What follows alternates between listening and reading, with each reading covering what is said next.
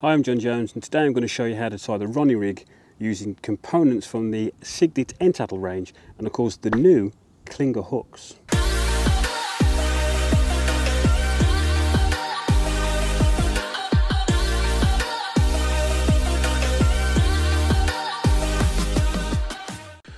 Tools needed for this job is a pair of needles, a sharp pair of scissors and a pair of pliers.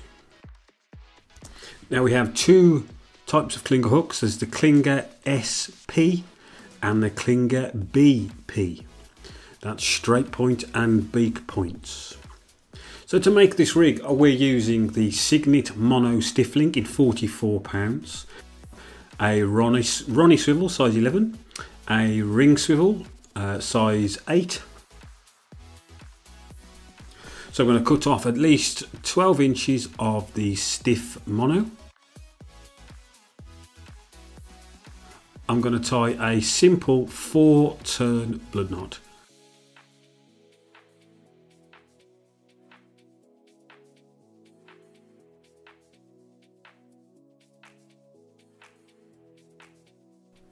Trim the excess little tag end with a sharp pair of scissors and if you want to just blob the end of that tag end with a lighter.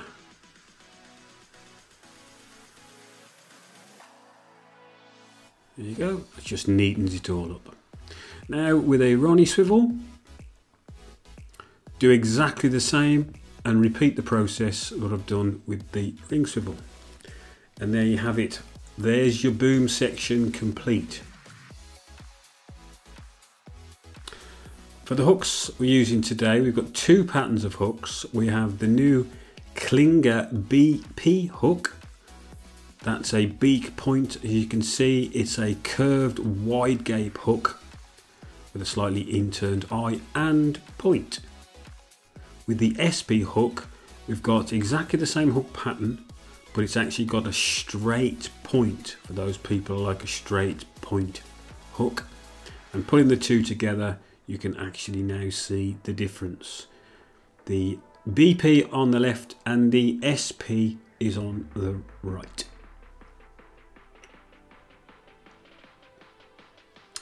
So I'll pick up a couple of hook riggers at medium, thread that onto the hook, uh, large, for, large end first. Now with the Ronnie swivel from the back to the front, thread that on, then slide down the hook rigger into place.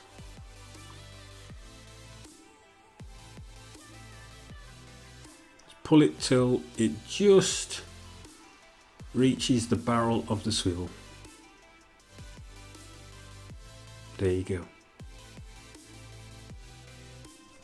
Now if you want to use a micro ring swivel, you can also use a micro bait screw and also a hook bead. Thread your micro ring swivel onto the hook, alternative the bait screw, and then followed by the hook bead, the fat end first, slide that on and position in place. Now it's up to you where you like to position this. I like to position it just just where the barb would have started on a barbed hook. And that's it. Perfect. Now to balance the rig I'm using the Cygnet tungsten putty and I'm just going to put a little tiny bit of this onto the knot of this stiff mono where it attaches to the ring of the Ronnie swivel. I'm going to be using a very buoyant hook bait here and as I'm using the ring swivel I'm going to attach it with some bait floss. Get the baiting needle, obviously pierce the bait.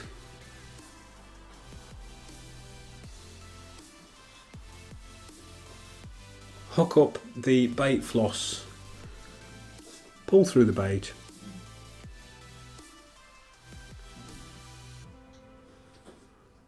Now pull the bait straight through until the ring of the swivel is just exposed. trim off with a sharp pair of scissors. Melt down with your lighter.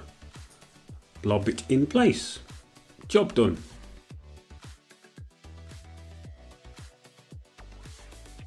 And those are the two Clinger Hook Ronnie rigs. So there you go folks, that's the finished rig. So don't forget to like, subscribe and hit that notification button. And remember before you go, it's up to you to ensure your rigs are safe. So I'll see you next time.